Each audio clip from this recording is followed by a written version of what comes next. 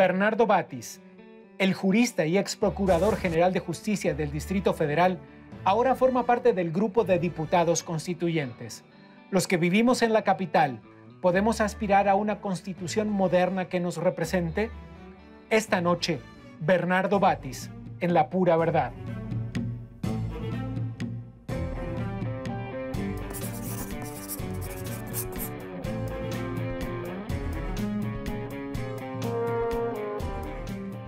Cuando hablamos de la nueva constitución para la Ciudad de México, bueno, de la primera constitución para la Ciudad de México, así es. ¿qué podemos esperar los ciudadanos en términos de beneficios reales, cotidianos? Pues eh, una constitución es una ley fundamental que establece los derechos básicos de eh, un ciudadano, sus derechos civiles, políticos, sus garantías individuales, como se le llamaban antes en nuestra antigua constitución, o eh, derechos humanos, como se le dice ahora. Es una eh, declaración formal, pero tiene muchas repercusiones en la vida cotidiana. Eh, debe tener una constitución, un buen cuadro de instituciones que permitan defender esos derechos, efectivamente garantizarlos a través de mecanismos para que no queden en una declaración, sino que puedan hacerlos efectivos el ciudadano. Eso es lo que tenemos que esperar de una buena constitución, eh, pensando en el ciudadano. Hay otras cosas. Pero, digamos, eh, quienes vivimos hoy en esta ciudad estamos de todas formas amparados ¿no? por la Constitución Nacional. en términos de cambios concretos, ¿qué experimentará la gente? Claro que estamos, estamos amparados, pero somos ciudadanos de segunda todavía. Eh, por ejemplo, nuestras autoridades ya son electas después de años, desde 1928 que Obregón borró la democracia del Distrito Federal, quedamos en una situación de capitis diminutio política. Podíamos votar en algunas cosas sí, en otras no. Ahora nuestros eh, representantes, diputados y jefe de gobierno tendrán más facultades, más autonomía, por ejemplo, para créditos para financiamiento público no requerirán eh, tantas exigencias eh, de poderes federales, el nombramiento del procurador, el nombramiento del jefe de la policía, podrán hacerse por nuestros representantes y no por otros representantes que también en parte son nuestros, pero en una mínima parte, porque fueron elegidos por el voto de todos los habitantes de todo el país y ahora van a ser los nuestros. Bueno, eso es lo que vulgarmente se llama autonomía. Es eh, autonomía.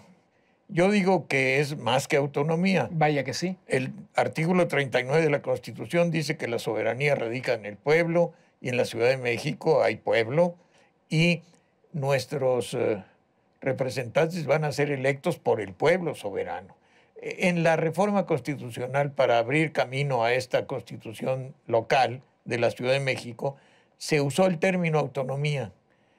Debió usarse el de soberanía.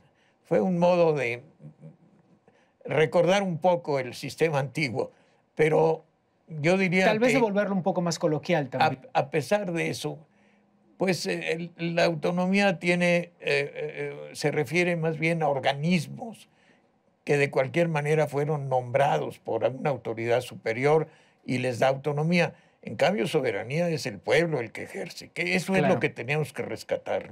Maestro Batiz, ¿por qué será que ha sido tan difícil lograr que la población en general se involucre con este tema, se interese por este tema? En parte, en parte porque eh, no se le hizo difusión. Aquí déjeme, déjeme, disentir un poquito eh, en ese asunto. En este mismo espacio nosotros hemos hablado bastante del asunto. Sin embargo, hemos encontrado a la gente como muy reacia a involucrarse. Sí, eh, porque hay campañas distractivas, hay asuntos a los que los medios les dan demasiada difusión y los hacen virales, como se dice ahora en los, en los eh, este, Twitter y Facebook, y también en la televisión. Hay, hay cuestiones que todos los días, dos veces, diez veces, cinco veces al día salen. Y de este no, se le dio muy poca importancia. Mínimo, sí hay, por supuesto, eh, programas como este. También creo que el concepto de legalidad suena como demasiado abstracto para la cotidianidad de todos nosotros, ¿no? Es decir, lamentablemente hasta que uno no se encuentra ante un, problema legal, muchas veces la legalidad suena demasiado lejos. Y tal vez eso es un problema de educación, ¿no? Sí, las personas eh, piensan muchas veces en su problema individual como un hecho familiar, aislado. como algo aislado. Y, está bien también, está bien.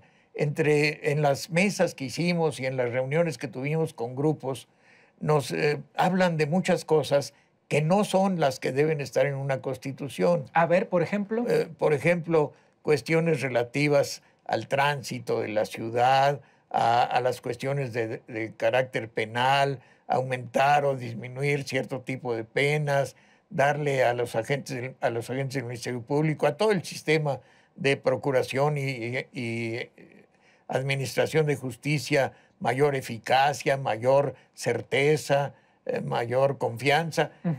Eh, algunas cosas pueden quedar en principio, pero los detalles deben ser propios de las leyes secundarias.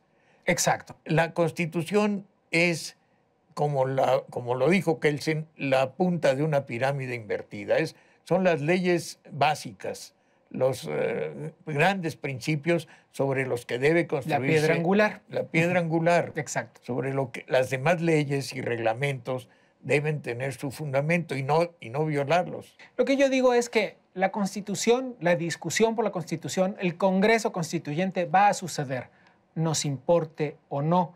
Y como va a suceder de todas formas, pues mejor involucrarse, ¿no? Es lo correcto. Y la verdad es que eh, lo que yo puedo observar es que empieza a interesar más. Claro que ha sido un trabajo, todos los partidos que participamos, eh, vamos a ser 100 diputados constituyentes, 40 designados, pero 60 electos y estamos trabajando, estamos acercándonos a los ciudadanos, entre otras cosas porque lo que dice usted es muy cierto. Lo que dices, si me permites, Gabriel, lo Faltaba más. Lo, que, lo que dices tú es muy cierto. Tenemos que ayudar a la gente a que se interese, que sepa de qué se tratan. ¿Cuáles son los temas que a usted le interesa incluir en esa constitución, particularmente? me interesa, especialmente me interesa que quede muy clara la división de poderes que el poder ejecutivo, cualquier poder ejecutivo, pero en este caso el de la Ciudad de México, tenga enfrente a un poder legislativo totalmente independiente. Robusto. Que tenga, robusto, que tenga la voluntad y el valor y la decisión y, y la autonomía, para volver a la palabra, para enfrentarse y poner límites y señalar. Pero eso es lo más sano que, podemos esperar los ciudadanos en términos de democracia, ¿no? Claro, que sea el, verdadero equilibrador. ¿A eso se refería usted cuando decía no debemos dejar que los diputados gobiernen solos? Entre otras cosas, supongo. Bueno, los diputados eh, dictan las leyes, establecen las leyes, no gobiernan ellos. Yo digo, no debemos dejar que el jefe de gobierno gobierne solo que haya una barrera, un contrapeso, que va a ser el Poder Legislativo, para que le pida cuentas, para que lo llame a cuentas si se necesita, y que no sea un operador todo el Congreso de lo que a él se le ocurre. Han pasado 88 años de aquella vez en la que perdimos esta democracia, eh, en términos concretos, como usted habla, los ciudadanos de esta metrópoli, ¿no? Sí. Desde Obregón para aquí, justamente. 1928. Hizo usted rápido la cuenta. No, la traía hecha, para ser honesto. Pero eh, el punto es que hemos perdido en consecuencia en todo ese tiempo cierta práctica democrática. Es decir, y han pasado un par de generaciones de gente que pues no ha sido educada en este contexto. ¿Cómo vamos a recuperar eso? Eh, estamos en el proceso de recuperación. La elección de Cuauhtémoc Cárdenas en, 1997 fue una fiesta popular. Cuando se supo que Cárdenas ganó, se llenó el zócalo espontáneamente. Eso fue una buena lección de democracia. Y luego... Porque era la primera vez que se elegía, mucho vez, Y luego este, López Obrador, y hemos ya, estamos ya en la práctica. Eh, y también sabemos que a veces hay que corregir y cambiar, y, este, el voto es... La democracia es, es estupenda porque es un mecanismo que puede corregir cada tres años. Y, además los habitantes de la Ciudad de México, pues estábamos ya entrenados también en las otras elecciones, en las federales. Es correcto. ha sido un proceso largo, lamentablemente lleno de obstáculos y de prácticas indebidas, pero todo creo que se superará y entraremos a una democracia mucho más eh, verdadera, para usar el término de, que tiene el nombre de este programa, la pura verdad. La constitución de la Ciudad de México es un tema que a usted le interesa desde hace mucho tiempo. Cualquiera que se ponga a navegar en la red encontrará artículos suyos que tienen muchos años incluso. Es decir, ha sido un tema al que usted le ha prestado especial atención y en ese sentido es de los constituyentes más avesados en el asunto. Me pregunto, ¿a qué se refería usted cuando dijo que sin dejar de lado que la constitución de la ciudad es un tema urgente, la ciudad tiene otros temas urgentes. Bueno, tiene muchos temas urgentes desde... Esa cara. esa cara, maestro. Yo decir, desde, desde este reglamento de tránsito, cuidar las cuentas, eh, distribuir bien el gasto. En estas reuniones en las que se discuten los temas eh, que se plantearán cuando comience el Congreso Constituyente, ¿qué cosas le han llamado más la atención? Mire, eh, el pasar de la democracia representativa, donde cada tres años elegimos a alguien y ya lo dejamos y, a, varios, al, cuerpo colegiado y al, y al, jefe del Ejecutivo, y ellos ya hacen lo que quieren, quedan este, pues, absolutos. Queremos pasar, y yo creo que eso no solo el partido que a mí me propuso, que es Morena y del que yo formo parte, sino otros partidos están hablando del mismo tema, que es la democracia participativa.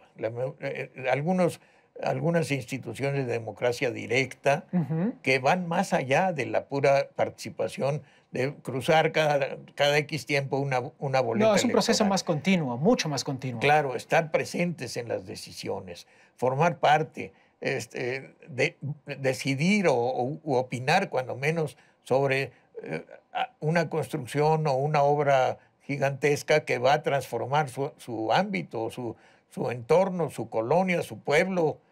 E, eso es parte de una democracia participativa. Otra es la revocación del mandato. López Obrador probó, dijo, bueno, si no estoy bien, no hubo manera porque se nos vinieron muchas cosas encima, pero se hizo una consulta telefónica y le dijeron, no, sigue, sigue. Eh, eh, la revocación del mandato es una buena institución. Si el, el, que fue electo lo está haciendo mal, pues que los electores... Es una herramienta realmente poderosa, ¿eh? Claro, si funciona bien. brindar con usted. Bueno, si me permite, yo brindo con mi café. Usted brindará con café, por más que sea muy tarde ya. Salud. Por la constitución que todos nos merecemos por una muy buena constitución. Esperamos que sí.